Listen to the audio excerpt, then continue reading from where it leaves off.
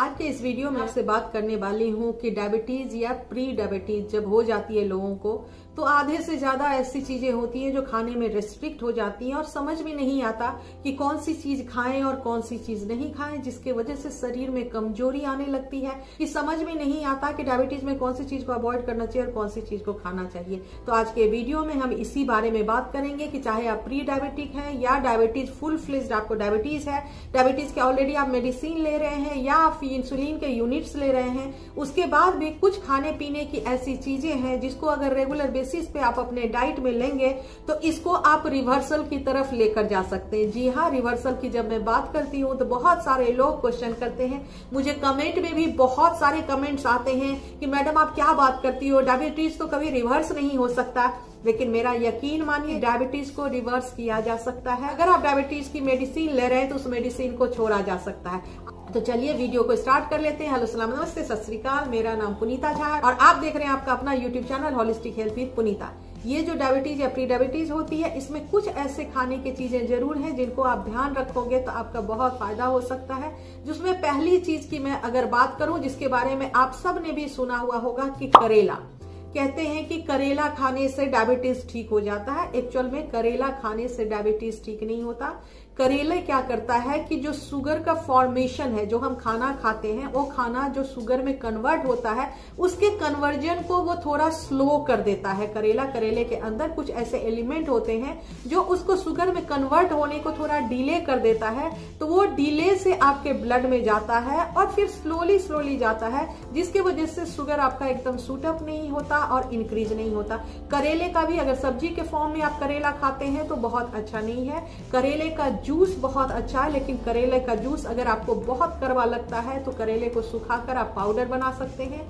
थोड़ा सा पाउडर को गुनगुने पानी में मिलाकर आप ले सकते हैं, लेकिन अगर आप जूस लेना चाहते हैं तो टमाटर और करेले को और उसके अंदर अगर बीटरूट या गाजर मिक्स करके अगर बनाकर आप लेंगे तो उसका टेस्ट उतना करवा भी नहीं होगा और फ़ायदा आपको बहुत सारा मिलेगा। दूसरे अगर एक सब्ज़ी की बात करूँ, जो कि बहुत इग्नोर्ड सब्ज़ी है, जिसको हम कहते हैं सफ़ेद पेठा, यही वो सफ़ेद पेठा है जो आगरा का फ़ेमस मुरब्बा बनाता है। इस सफ़ेद पेठे के अंदर में स्पेशल टाइप के कुछ ऐसे इंग्रेडिएंट होते हैं, जो कि एंक्रियाटिक फ़ंक्शन को सिस्टमेटिक कर देता है। इन सारे फ़ंक्शन को रेगुलेट करने में बहुत बड़ा रोल प्ले करता है। बहुत बड़ा डिटॉक्सिफाइंग एजेंट होता है सफ़ेद पेठा। जिन लोगों को लीवर से रिलेटेड प्रॉब्लम है लिवर फैटी लीवर की प्रॉब्लम है लीवर सोराइसिस की प्रॉब्लम है, या लीवर में जनरली बहुत ज़्यादा टॉक्सिन्स इकट्ठा हो गई है। उनके लिए भी ये सफ़ेद पेठे का जूस सुबह सुबह पीना बहुत ज़्यादा फ़ायदेमंद है। इस सफ़ेद पेठे को आप किसी भी फॉर्म में ले सकते हो, आप सब्ज़ी बनाकर ले सकते हो, आप जूस बनाकर ले सकते हो। जूस अगर बनाते हो तो ध्यान रखने की ज़रूरत है कि इसके अंदर पुदीना, धनिया, आंवला ज़रूर डालिएगा। तुलसी के पत्ते भी आप डाल सकते हैं, थोड़ा सा काला नमक या सेंधा नमक भी आप डाल सकते हैं। टेस्ट है तो आप नींबू भी डाल सकते हैं। ये सारी चीज़ें को तो एनहेंस करती ही हैं। तो ये आपके स्टमक को भी न्यूट्रलाइज करने की काम कर देती है। तो ब्लड का जो पीएच है, वो सब न्यूट्रलाइज हो जाता है। कोलेस्ट्रॉल का फॉर्मेशन स्लो हो जाता है लीवर प्रॉपर फ़ंक्शन करने लगता है। तो एक तीर से कई सारे शिकार हो जाते हैं। उसके बाद तीसरे की अगर बात करूँ तो कद्दू, जिसको कि सीताफल कहते हैं, ये भी बहुत इग्नोर्ड एक वेजिटेबल है। ये सीताफल जो है, वो बहुत सारे ट्रेडिशनल मेडिसिन में यूज़ किया जाता है। इसके आप पंपकिन के सीड के नाम से भी जानते हो। उसके सीड सीड से लेकर के और पल्प होता है ये सभी चीज़ें बहुत इस्तेमाल में बेनिफिशियल होती हैं। इसका मीठा जो होता है, उसका ग्लाइसेमिक इंडेक्स जो होता है, वो आपके बॉडी को हार्म बिल्कुल भी नहीं करता है। इसलिए आप इसको हफ़्ते में दो से तीन बार सीताफल अगर खाना शुरू करेंगे तो आपके लिए बहुत अच्छा रहेगा। उसके बाद जिसको कि हम कहते हैं जिमीकन ये ज़मीन के अंदर पाई जाती है। ये भी आपके डायबिटीज़ के शुगर के लेवल को मेंटेन करने में बहुत बड़ा रोल प्ले करता है। आप इसकी सब्ज़ी बनाकर आप खा सकते हैं। हैं, इसका भरता बनता आप वो खा सकते हैं, या यूँ ही बॉईल करके आप इसमें कुछ मिक्स करके खा सकते हैं। उसके बाद एक और ट्रेडिशनल फल है, जिसको कि जामुन कहते हैं। जामुन जो है वो बड़ा अच्छा होता है डायबिटीज़ को रिवर्स करने में। तो जामुन का, गुठली का पाउडर भी ऑर्गेनिक अगर आपको मिलता है, ये जो बीज होते हैं, उसको सुखाकर अगर पीस कर आप रख लें तो आप उसको ले सकते हैं। मैं भी ए वन सी आपका जो है, वो थोड़ा सा बढ़ा दिख रहा है, लेकिन डायबिटीज़ आपका नहीं दिख रहा है। वो हंड्रेड के नीचे ही आपका दिख रहा है। तो भी मैं आपको सजेस्ट करना चाहूँगी कि precaution always is better than cure जामुन के गुठली का पाउडर आप आधा चम्मच गुनगुने पानी में एक से दो बार अगर लेना शुरू करेंगे तो आपका H B A one C जो है उसको बहुत ज़्यादा ये नीचे ला कर रखेगा वेट लॉस में बहुत ज़्यादा हेल्प करता है। स्किन से रिलेटेड जिन लोगों को इन्फेक्शन वगैरह बहुत ज़्यादा लगती है। आँखों से रिलेटेड बहुत प्रॉब्लम है। वैसे में भी ये बहुत ज़्यादा हेल्प करता है।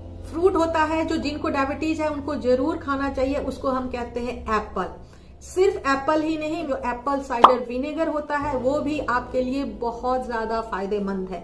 अगर एप्पल साइडर विनेगर को लेने का तरीका ये है, एक डेढ़ ग्लास पानी में एक मुट्ठी पुदीना को बॉईल कर दीजिए, उसके अंदर चार पाँच काली मिर्च को क्रश करके डाल दीजिए. फिर इसको दो तीन बॉयल देने के बाद छान लीजिए। छानने के बाद जब ये पानी गुनगुना से थोड़ा ज़्यादा रह जाए, फिर इसमें एक से दो चम्मच एप्पल साइडर विनेगर मिलाइए। इसका लेने का भी दो तरीका है। अगर आप वेट लॉस के लिए लेना चाहते हैं तो आप एम्प्टी स्टमक हमेशा ही ले। अगर आपको डायबिटीज़ को कंट्रोल करने के तो आप उसको खाना खाने के आधे घंटे के बाद आप नोटिस करेंगे कि तीस दिन के बाद जो शुगर का लेवल है तो आपका पीपी है, उसमें गिरावट आनी शुरू हो जाएगी। मैं ये कहूँगी कि तीन महीने एप्पल साइडर विनेगर लेने के बाद पंद्रह दिन का ज़रूर ब्रेक दीजिएगा और उसके बाद आप दोबारा से फिर इसको स्टार्ट कर सकते हैं। ये सारी चीज़ें जो है, उम्मीद करती हूँ कि आप इसको फॉलो करेंगे और अपने डाइट में इसको लेकर आएँगे और फीडबैक में मुझे ज़रूर बताएँगे कि आपने ये सब चेंज किया, उसके बाद आपका एच या आपके शुगर का लेवल कितने दिन तक आया, कब तक लेना है, इन सारी चीज़ों को लाइफ लॉन्ग ले सकते हैं, कोई रेस्ट्रिक्शन नहीं है, इसके अंदर कोई रुकावट नहीं है, क्योंकि इन सभी चीज़ों के अंदर न्यूट्रिएंट्स अलग अलग तरह के भर भर के डली हुई हैं, और हमें तो ज़िंदगी में हर रोज न्यूट्रिएंट्स बहुत सारा चाहिए होता है। उम्मीद करती हूँ कि इस वीडियो से आपको और आपकी फैमिली को बहुत फ़ायदा होगा। अगर वीडियो आपको पसंद आया